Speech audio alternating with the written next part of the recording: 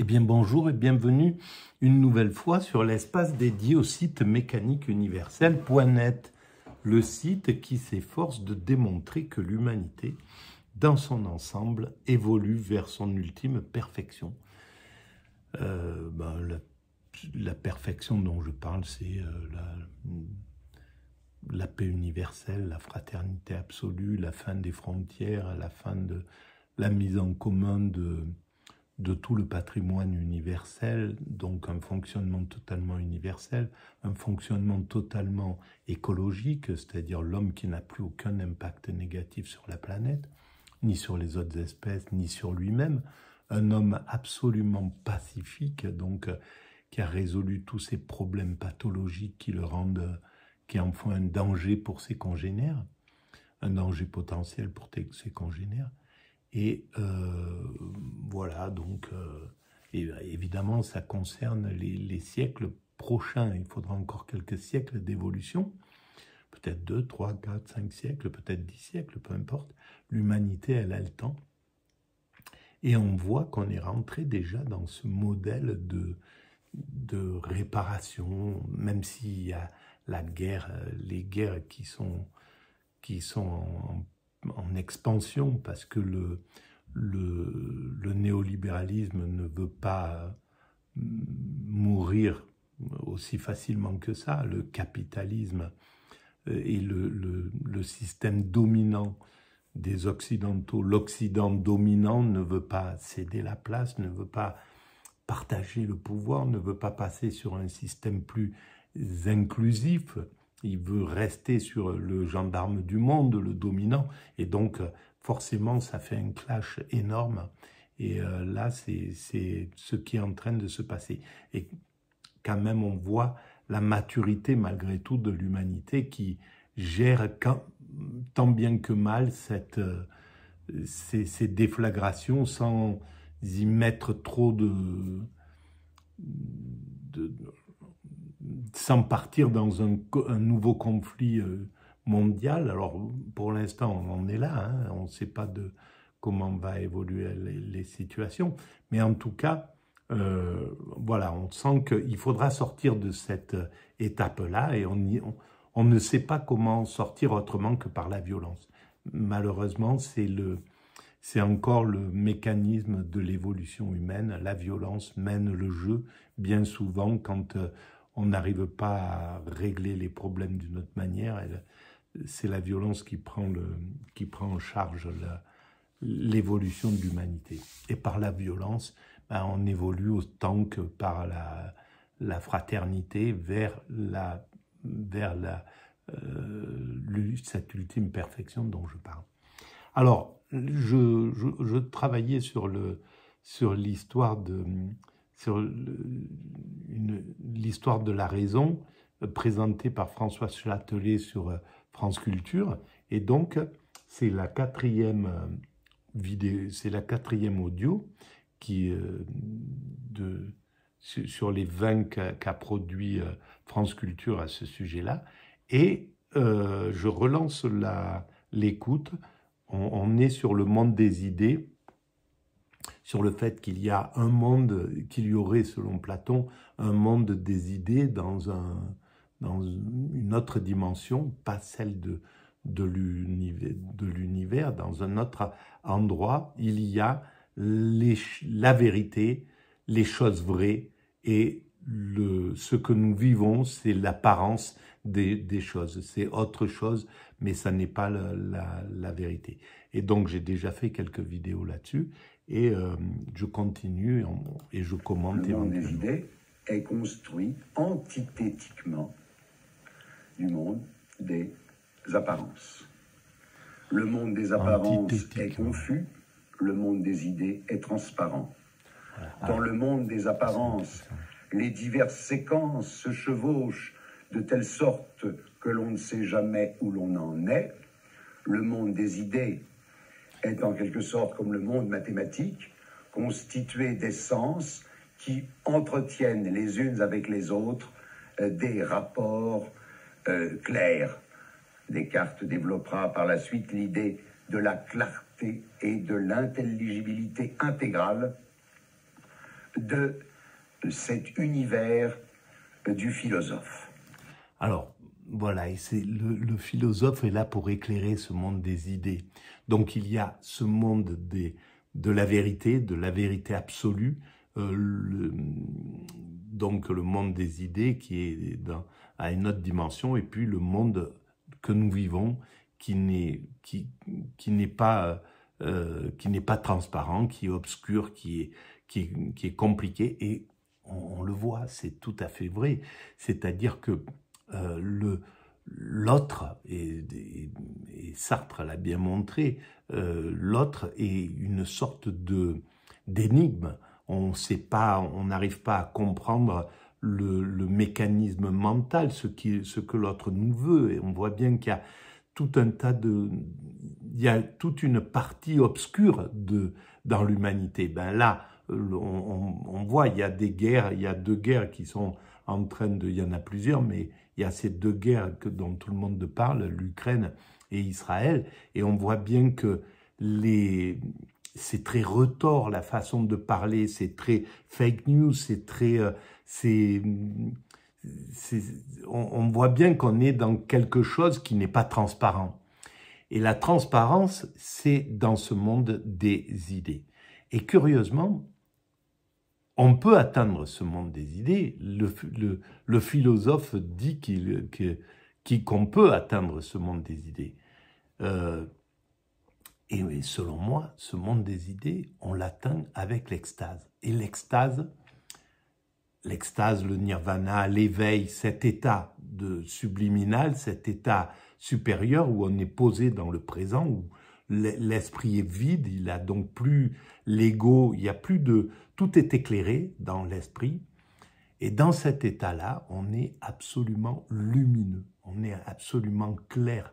On, on, on est dans, c'est la lumière en réalité. On est dans un état de lumière. Pour avoir vécu cette expérience, pour avoir fait cette expérience pendant un mois, c'est vraiment la clarté. Et donc, c'est l'incarnation du monde des idées, en, somme. L'extatique est l'incarnation du monde des idées. Et donc le philosophe propose, et je pense que Platon doit faire pour creuser l'hypothèse, l'hypothèse, qu'est-ce qui perçoit ce monde et comment et par quels moyens? Ce ne peut être l'œil sensible, car l'œil sensible ne perçoit que les apparences. À l'hypothèse des idées, il faut ajouter une autre hypothèse, à savoir qu'il y a en l'homme quelque chose qui permet de saisir cette réalité transcendante. Ah, c'est génial. Quelque chose qui permet de saisir l'essence. Voilà. Pour nommer cette fonction, je mets bien sûr des guillemets, et c'est l'extase dont je parle. Platon utilise le vieux mot de la religion grecque, qui est le mot psyché, que l'on peut traduire en langue française par âme. L'âme. Alors, c'est à travers l'âme. Donc, c'est là où les termes, c'est très compliqué. C'est pas c'est compliqué, mais euh, ça induit en erreur parce que on, est maintenant on parle plus d'âme. L'âme c'est très compliqué, c'est un, concept. Il faut être soit dans la religion, soit dans la philosophie pour pouvoir y, voir quelque chose dans cette âme. Sinon on, ne peut pas voir. C'est pour ça que moi je parle d'extase. Dans cet état d'extase, c'est l'âme en réalité aussi. On peut c'est l'âme est là dans cet état-là, mais c'est c'est plus parlant, à mon sens, aujourd'hui, de parler comme ça. Il aussi le mot nous, qui lui vient de la tradition philosophique présocratique, que l'on peut traduire en français par esprit. L'esprit. Il faut supposer que l'homme de quelque chose. Possède en même temps qu'un corps qui est plongé dans les apparences, et un esprit. Un esprit qui est capable, à travers le discours et par la construction du discours, qui est capable de saisir les idées ou essences. Alors, tout à fait. Mais il y a le, corps qui est, qui est présent, mais l'esprit, l'esprit dans l'état ordinaire, dans la conscience ordinaire, il ne peut pas saisir le monde des esprits, seulement dans l'état d'extase, qui est un état complètement différent de l'état ordinaire, de, l'état psychique ordinaire. Là, par exemple, je suis dans l'état ordinaire. Dans l'état euh, d'extase, mon cerveau penserait complètement d'une autre manière. Il pourrait pas s'exprimer avec cette volubilité, avec euh, avec cette énergie, avec je serais dans un état de contemplation absolue et je pourrais même pas parler parce que c'est euh, c'est une autre forme. On peut on n'a pas envie de parler dans cet état-là. On a juste envie de contempler. Et donc le philosophe, lui, peut tout en étant dans le monde euh, ordinaire, dans la conscience ordinaire, il peut analyser, il peut comprendre. C'est ce qu'on est en train de faire là, par exemple. J'essaye de comprendre que on peut atteindre ce, monde des idées par la réflexion, mais c'est qu'une réflexion. Je le touche pas là, ce monde des idées. Pour le toucher, ce monde des idées, il faudrait que je sois en état d'extase. Et en état d'extase, c'est plus quelque chose qui s'analyse. Il n'y a pas d'analyse le philosophe, il analyse, il étudie la, logique de ces deux états et de, du monde des idées, euh, du monde des idées, du monde apparent ordinaire. Il peut comprendre tout ça théoriquement, mais la théorie, c'est pas la pratique, c'est pas la fusion avec ce, monde des idées, c'est pas le, le contact avec ce monde des idées, c'est un contact intellectuel simplement. C'est comme je peux parler d'amour, je peux raconter une histoire d'amour, mais ça n'équivaudra jamais la sensation que j'ai eue dans une histoire d'amour, dans cette histoire d'amour, dans le fait d'être à côté de la personne que j'aime, euh, de cette sensation qui se passe, c'est tout est au niveau du, du corps, c'est pas et, mais par contre, je peux l'analyser, je peux en faire un livre entier d'une histoire d'amour ou de, de, toute autre chose. Euh, je peux raconter, voilà, euh, je, je, suis tombé sur un livre de quelqu'un qui a fait l'Everest. Il raconte euh, cet épisode, mais ça n'a pas, c'est autre chose que la sensation qu'il a vécue en, en escaladant l'Everest. Du coup, on comprend bien pourquoi la philosophie se fait pédagogie. Pédagogie, étymologiquement, c'est le chemin que l'on offre aux enfants. Ah, pédagogie. C'est le chemin qu'on offre aux enfants. La route qu'on leur désigne en les prenant par la main pour les conduire de l'ignorance jusqu'à la connaissance. Ah, la pédagogie. La philosophie est pédagogique. Donc ça, les, les, les, les, les les, les, ministres, tout ça devrait comprendre cette chose-là. Prendre un enfant par la main et l'amener.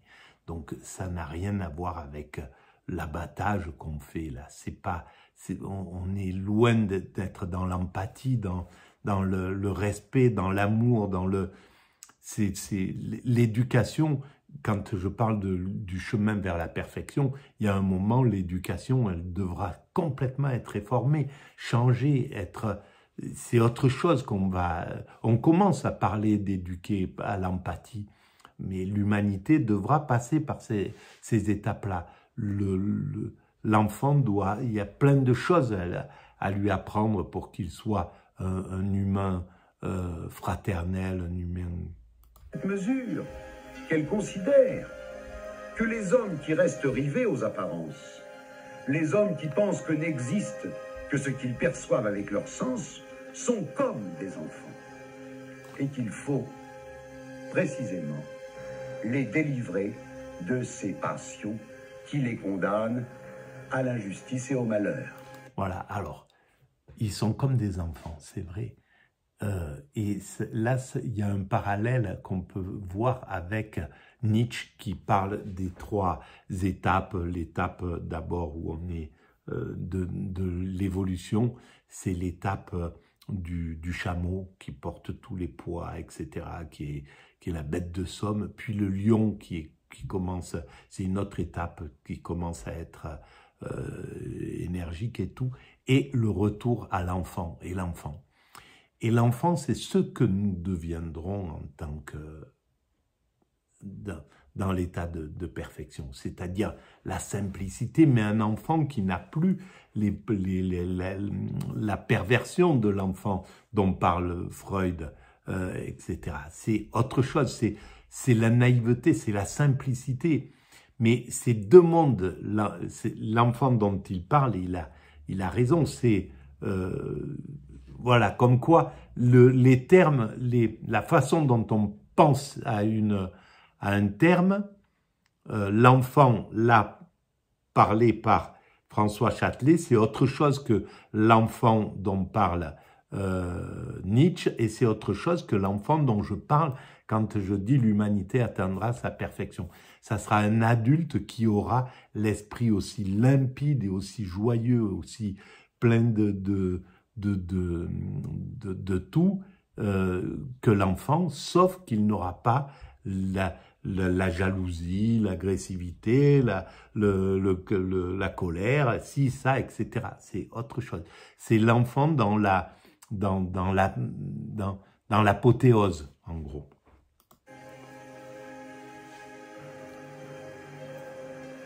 Le philosophe, du coup, va proposer un cours des études, un cursus studiorum qui doit permettre à ces hommes enfants de devenir enfin des hommes adultes. Donc voilà, c'est éduquer ceux qui... Enfin, ce qu'il en est de l'être. Voilà. Ce cursus studiorum, Platon le décrit en détail, et il faut avouer qu'il n'est pas particulièrement séduisant. Il nous explique que dans la cité idéale, c'est-à-dire la cité telle qu'il la conçoit, voilà, parce que le, le, philosophe s'engage, il veut euh, il veut construire, il veut proposer une civilisation idéale. Donc, c'est très téléologique en fait. Bon, évidemment, le problème de ça, c'est que en voulant construire quelque chose comme ça, euh, on, peut, sombrer dans quelque chose d'un peu dictatorial, d'un peu... Euh, ben c'est comme le communisme. L'échec du communisme, c'est qu'il a voulu imposer une égalité quand l'homme n'était pas encore apte à vivre l'égalité. C'était pas possible. Il avait besoin plus de liberté l'homme réclamait plus de liberté que d'égalité.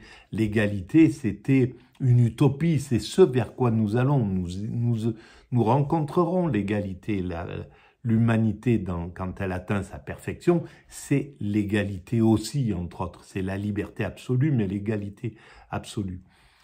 Mais c'est pour ça que la mécanique universelle, elle parle de ce qu'adviendra l'humanité, mais elle ne dit pas il faut agir, il faut devenir comme ça. On fait, il y a des propositions. Je dis que les choses, l'humanité devra améliorer l'école, améliorer les relations, améliorer ci et ça.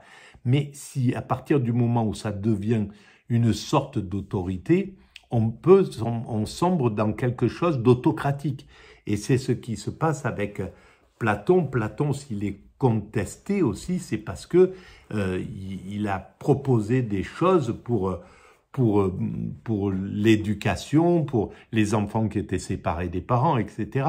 Euh, tout un tas de choses qui ne sont pas qu'on ne peut pas adapter. Et à l'époque, ça partait sans doute d'un bon sentiment. Ils savaient très bien que ça allait peut-être pas être appliqué. C'était des propositions, c'était des, pour, euh, pour les frères euh, humains qui après nous viendront, vous pouvez utiliser ces, choses. Et c'est pareil pour, pour euh, Jean-Jacques Rousseau qui, qui, écrit sur l'éducation et, bon, et qui se comporte d'une autre manière. Bon, en, en somme, c'est le, le problème un peu du, du philosophe, ça les enfants, dès leur plus jeune âge, Donc ça, c'est ce que propose à un certain nombre d'épreuves Platon qui permettront de distinguer euh, parmi eux ceux qui ont une particulière fermeté et une particulière résistance à la souffrance physique. Un peu comme... À partir de là, s'opérera une première sélection. Ensuite, ces adolescents que l'on aura déjà éduqués à la dure, on leur apprendra le métier des armes. Et on encouragera encore... On va arrêter là. Euh, je, vais reprendre directement dans la foulée, mais euh, voilà. Euh, donc, ça va, ça va être le sujet de la prochaine vidéo. J'arrête sur, sur cette vidéo. Voilà. merci de votre écoute. À très bientôt.